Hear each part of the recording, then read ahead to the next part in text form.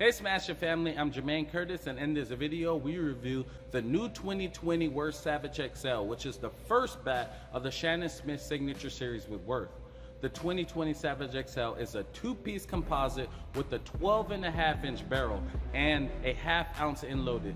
It's 34 inches and 24 ounces. This bat has a reactive short barrel with a finely tuned composite flex handle that provides a consistent, repeatable swing for improved performance and back.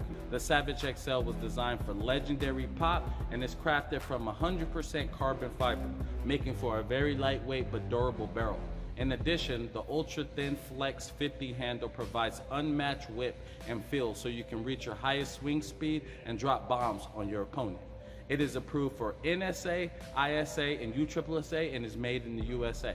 The SAVIJ XL is a bat I am super excited to take swings with. So, on that note, let's take 50 or more swings to test it out so I can give you my review. But before we do, if you like this sweater, you can get this sweater for $49.99 at smashitsports.com. We have the sweater in OA, Mikan, and SIS. Also, please listen carefully to the sound of this bat. We want you to rate it in the comment section on a scale of 1 to 10.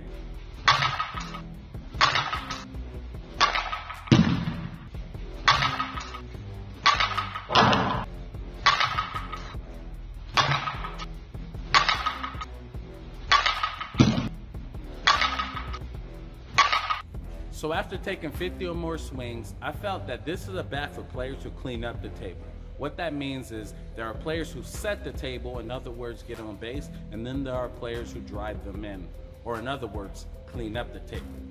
This bat is for that type of player or a player who desires to be that type of player.